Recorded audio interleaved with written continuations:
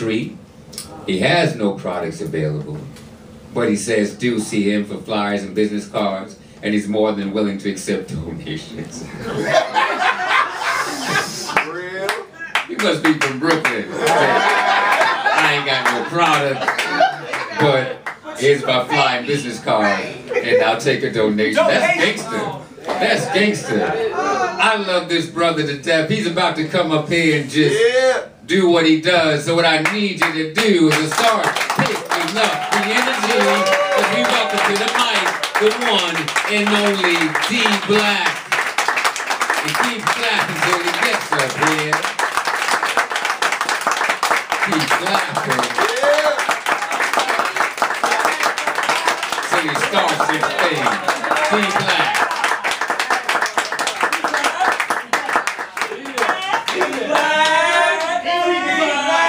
I get something in the middle of the room. Welcome! Yes! To the future.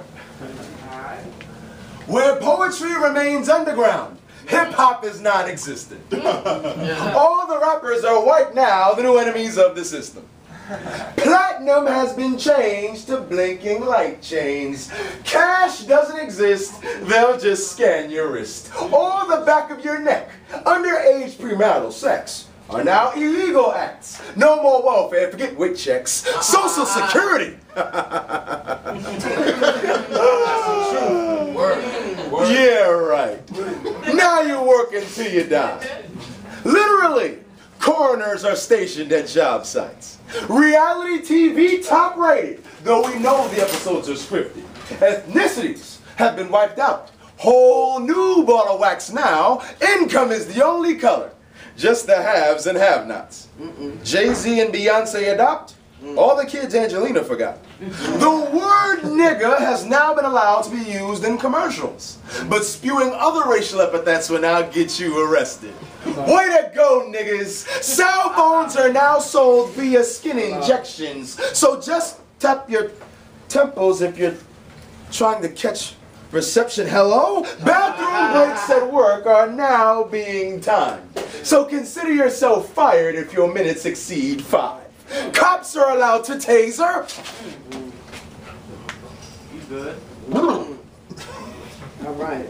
Bus and train fare evaders. But since the one-way fare is now $15, can you really blame strap hangers? All right.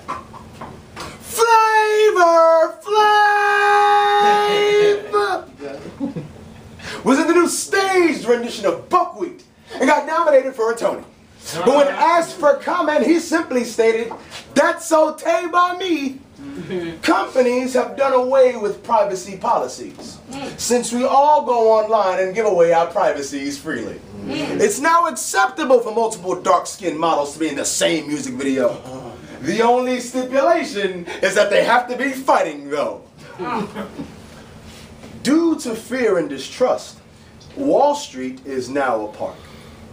Mount Rushmore represents the first 150 years of the U.S., but spray painted across it one day was the question what about slavery and injustice? Mm. Think purchasing a natural resource like bottled water seems a little absurd? Mm. well, now you have to purchase bags of fresh air mm. that go for only a quarter.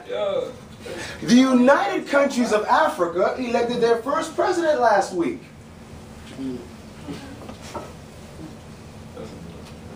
He was assassinated this week. The spirits of President Coolidge, Harding, Eisenhower, uh, Jackson, and Lincoln were all found screaming, Obama was not the first black president!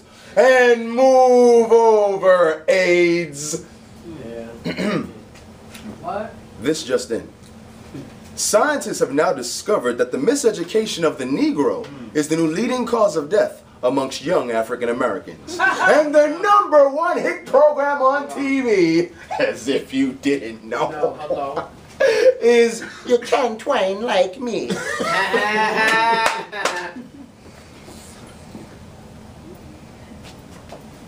a reggae dancehall series.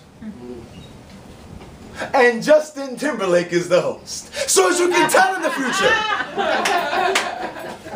So as you can tell in the future, some things have changed and some things have remained the same. Once again, welcome to the future. I hope you enjoy your stay. Mm. Peace, mm.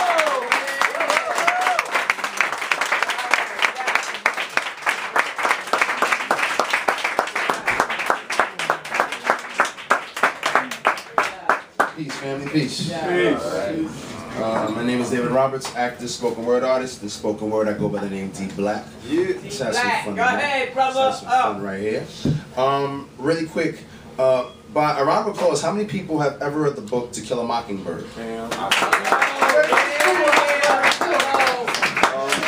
Second question, how many people have ever read the book The Adventures of Huckleberry Finn? Wonderful, And uh, last question, how many people have ever read the book The World's Great Men of Color? Where can I get man? Where can I get it? We, we, we gonna talk, we gonna talk. Uh, the name of this piece is entitled Curriculum. I love reading books.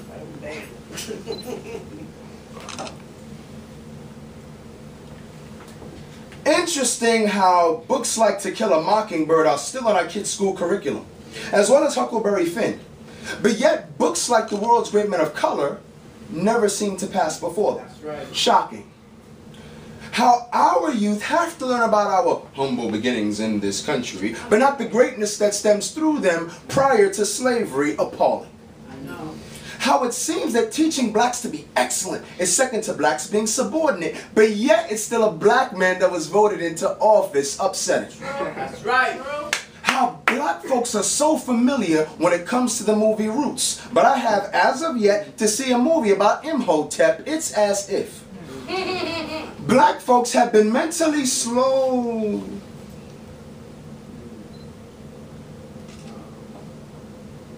Down. Mm-hmm. Mm-hmm.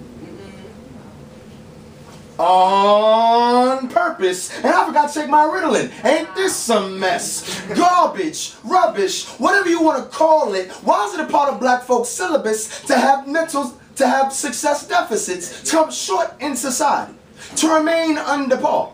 To be oxymorons like being happy because I'm the head nigga in charge.